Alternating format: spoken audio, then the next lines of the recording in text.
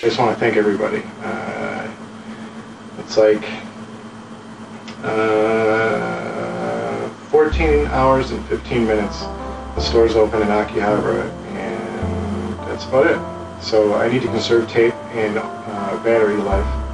But I think I'm all packed. I've got all my equipment together, and uh, I'm going to get my GameCube.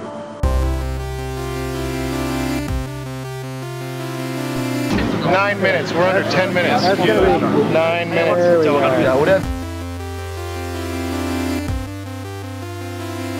Uh, uh, one memory card. One, uh, one memory card. Woo!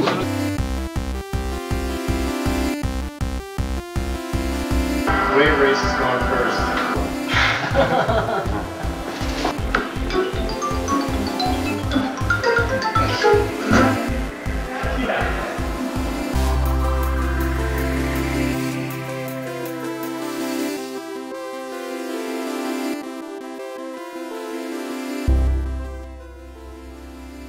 Nintendo World Report LLC's beginning was 20 years ago, on March 7, 1999.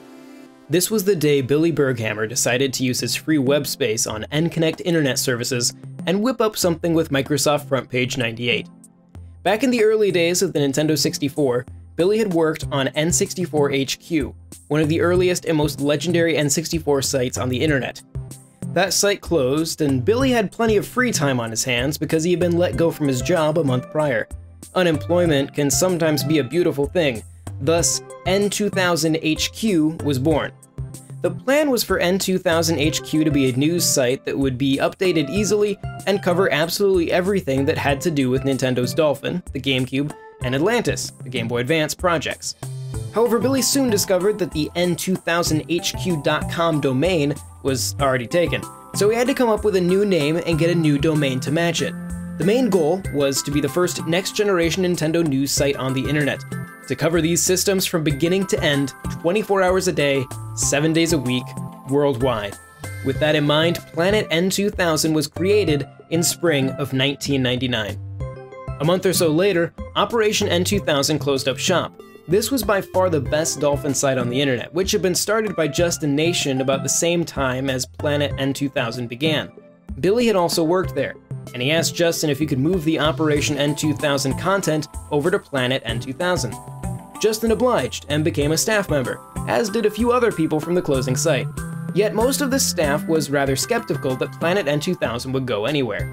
In the following months, the site built up a solid readership, when other major Dolphin fan sites like Dolphin Cove and Nintendo Nation shut down, traffic increased even more.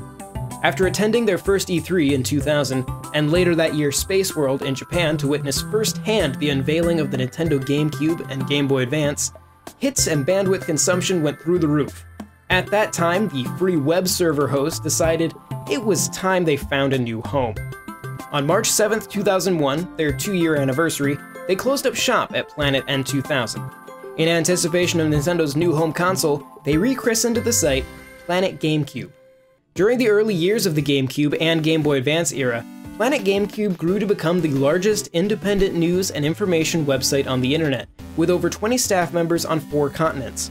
As other multi-platform sites began charging for premium editorial content and forum access, they bucked the trend and insisted on providing all content free of charge, while funding the site through advertising and merchandise sales, and even out of their own pockets. In April 2003, not long after the site's fourth birthday, Billy Berghammer accepted a job with Game Informer magazine and had to say goodbye to Planet GameCube. He handed the site over to Jonathan Metz, who had joined the staff in the summer of 2000 after meeting Billy at the E3 Expo. Johnny got his start in the industry by creating his own Nintendo site, the Informant, in early 1999. After joining the staff of Planet N2000, he quickly rose through the ranks, going from staff writer to previews editor to senior editor and managing editor, before eventually being awarded the director's chair. When Nintendo first hinted at their next console at E3 2004, later to be codenamed Revolution, the staff had come to realize that they couldn't call themselves Planet GameCube forever. One thing was for sure, they knew they wanted a name that was not tied to any specific platform, and they quietly applauded this decision when Nintendo revealed the Wii name to a dumbfounded Nintendo community a week before E3 2006. By then, the staff was toiling over name candidates, and with the release of the console looming, they settled on a new name. In November of 2006, Planet GameCube became Nintendo World Report, just in time for the release of the Nintendo Wii. And they recommitted themselves to bringing readers everything there is to know about Nintendo games. In the months leading up to the Nintendo World Report launch, Jonathan Metz decided to cut back on his workload in order to continue his college studies. About the same time as the launch, he passed the torch to Steven Rodriguez, who had been part of the NWR staff since 2002. Steven had been part of the Nintendo website scene since 1999, when he made a name for himself by updating the Nintendo Nation mailbag every day for an entire year. He brought this tradition with him to Planet GameCube and Nintendo World Report, where he answered reader questions in the NWR mailbag every week until taking over as director. In addition to his postal duties, Steven was the news editor of the site before becoming director. After more than three years at the helm, Steven stepped down to devote more time to his personal life in January 2009. This allowed longtime staffer and former reviews editor John Lindemann to assume the role of director. Like Steven before him, John was also a veteran of the Nintendo enthusiast website scene, starting out as a release dates editor for the 64 Source in 1998. He later moved to write for Nintendo Box and Nintendojo, before finally landing at Planet GameCube in 2004. Following several years as staff writer, he took over for Jonathan Metz as reviews editor in 2008, as Metz continued his transition away from day to day site duties. During this time, Nintendo World Report hosted their first charity livestream in 2010, a tradition that continues to this day, with a stream earlier this year raising over $5,000. In fact, over the past nine years, Nintendo World Report has raised over $47,000 in support of charity, thanks entirely to generous fans. In early 2011, John had to step back from his role as director, and former senior editor Neil Ronaghan assumed the helm. After three years of extreme dedication to the site, Neil chased down Jonathan Metz's site record for longest standing site director and cleared it by quite a bit. Under Neil's watch, the NWR staff handled the launch of the 3DS and also put together a very important GameCube 10th anniversary feature because, after all, this site would have never existed if it weren't for the purple lunchbox. Neil also ushered the site through the rough patch that was the Wii U. It was during this time that the site had to get creative in order to survive a waning interest in Nintendo. In 2014, Neil, along with video producer Jared Rosenberg, launched a new YouTube channel called NWR TV, NWR TV served as a new discovery outlet and revenue stream for Nintendo World Report, which to this day is still operated entirely by volunteers. But in the age of ad blockers, NWR put the site's finances directly into the hands of readers by launching an official Patreon in April of 2016. Alongside the Patreon, NWR also launched a Discord server, which at the time of writing this has grown to over 700 active members. With NWR TV very quickly approaching the 50,000 subscriber mark. In February of 2018, with a child on the way, Neil stepped back into a reviews editor role and passed the role of director to John Rairdon. John started in games journalism by founding a Nintendo eShop focused site called 8 Worlds News in 2012. Prior to that, John studied film, working on a variety of award winning independent projects before he shifted his focus to game journalism. Shortly before the launch of the NWR TV channel, John was brought on board to help produce video content for the site. While he can't hope to compete with some previous directors' review numbers, John does hold the record for most Star Fox related content produced by a single individual.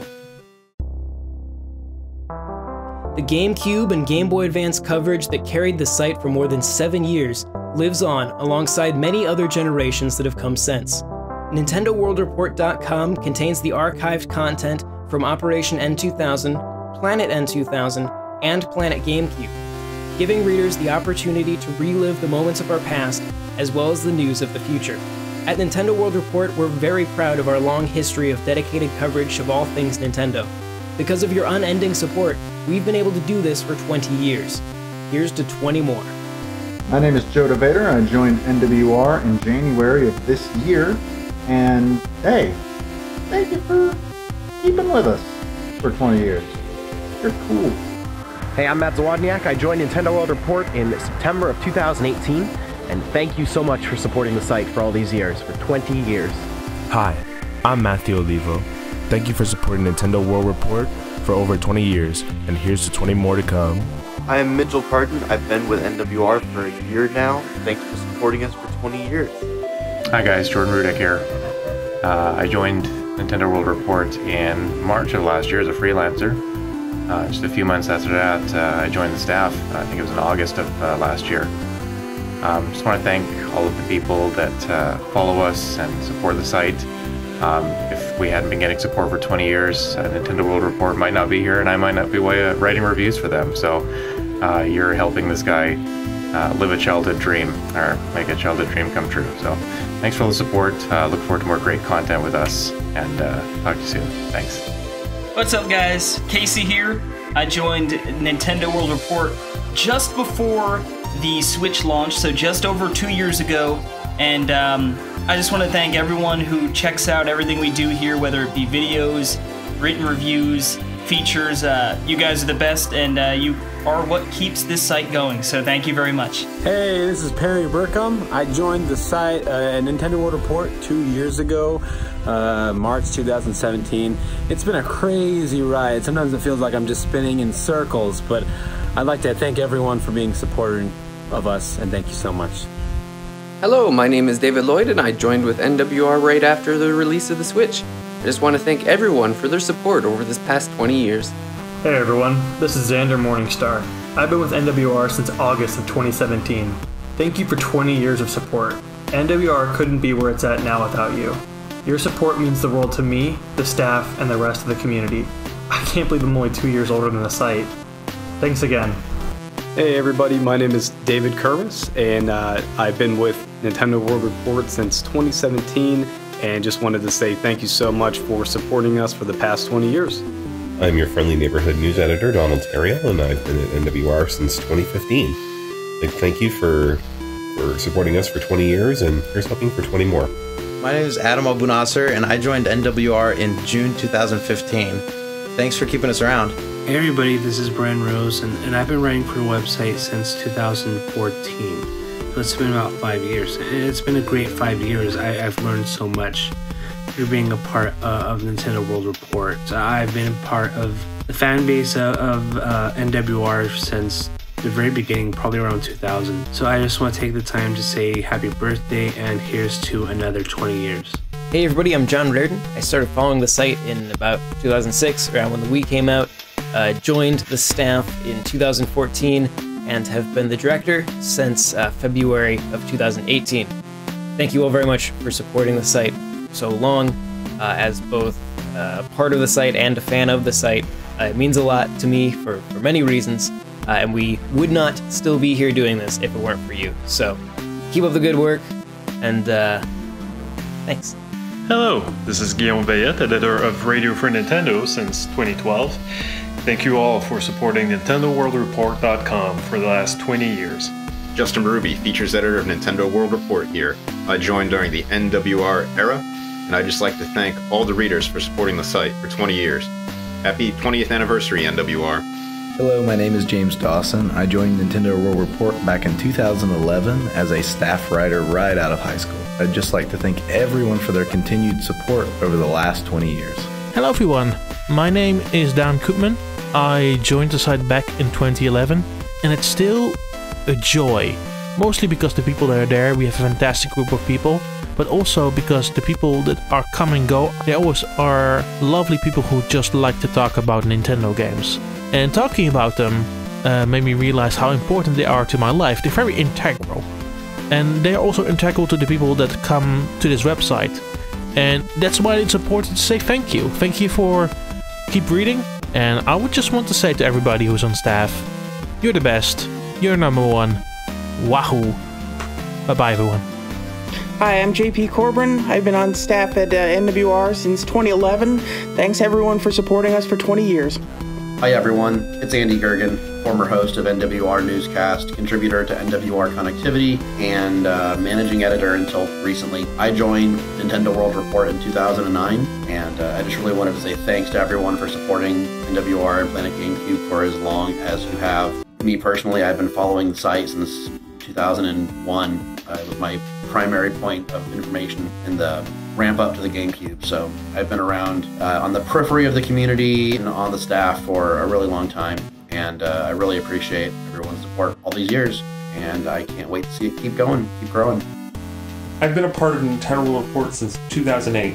That's more than a third of my life and more than half of the site's life. I thank it for making lifelong friends, for making amazing memories, for being able to go to E3s and spend time with people that I remember reading their stuff when I was like 14. It's crazy. And most of all, I thank Billy for starting this site in 1999 and making sure it lasted long enough for me to be able to join it. And then thankfully I was able to help along with alongside with, with multiple Johns to make it last to 20 years and hopefully beyond. And I hope everybody enjoys what we do because that's why we're doing it. So thank you and thank everyone who's ever been a part of the website because it means the world. Uh, and and I, I love you all. Hey, it's me, Jared, in Japan. Uh, just saying hi. Uh, been with Nintendo World Report since 2008. Uh, congratulations, Nintendo World Report, and uh, thank you, readers, for sticking with us for 20 years. It's awesome. Bye. I'm Carmine Red, and I joined Nintendo World Report in 2007. But I was ranting and raving on the Planet GameCube forum since way before then. Nintendo World Report is more than just an independent Nintendo fan site.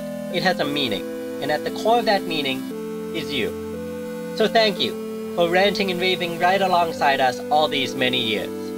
Hello and welcome to Not Radio Free Nintendo. I'm your host, James Jones, host of Radio Free Nintendo.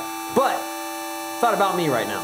I mean, it's always about me, but it's not about me right now. It is about Nintendo World Report. 20 years, which in website time is John Lindemann old. Basically, I'm a train wreck. Thanks Nintendo World Report for keeping me around. Happy birthday. Hello, this is Zachary Miller from Anchorage, Alaska. Um, uh, I can't believe it's been 20 years uh, with NWR. I've been with the site since 2006, 2007. It's been quite a ride. Met so many good people, lifelong friends. It's been a wonderful, wonderful ride, and we could not do it without you listeners. Listeners, readers, viewers now. Thank you so much for supporting us for 20 years, and uh, let's have 20 more. Hey everyone, it's Daniel Bloodworth, and I just want to wish uh, Nintendo World Report a happy 20th anniversary. Uh, I was there uh, from 2002 until around 2007, uh, before eventually moving on to G4, in-GameTrailers, and now Easy Allies. And uh, it's it's kind of crazy when we start adding these numbers up. Uh, it's really it's been a fun time, and I definitely have a lot of fun memories with the site. I'm still supporting you, and thank everyone else uh, for your support over the years. And really looking forward to the future of everything to come. Thanks. Hi, everybody. This is Steven Windyman Rodriguez. I joined Planet GameCube in 2002, and I led the launch of Nintendo World Report in 2006 as site director. You know, a lot's changed with Nintendo and video game coverage over the last 20 years. I just want to say thank you to everyone, then and now, who has been with us every step of the way. And here's to another 20 years of Nintendo World Report. See you, everybody. Hi, this is Michael Cole, aka the Younger Plumber. I joined Planet N2000 in January of 2001.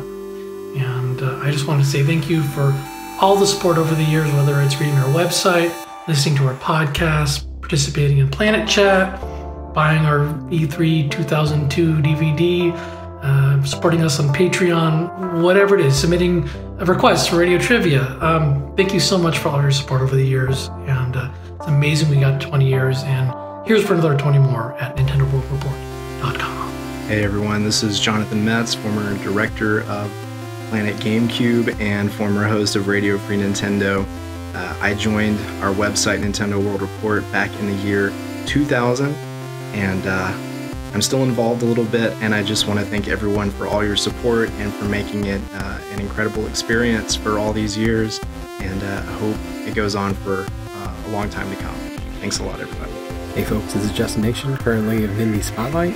I joined before Planet GameCube became a thing. Um, I helped design the original site with uh, Billy. I built the back end.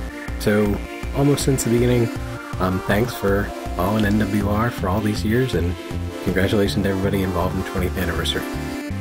My name is Billy Berghammer, and I joined the N2000 HQ on March 7th, 1999.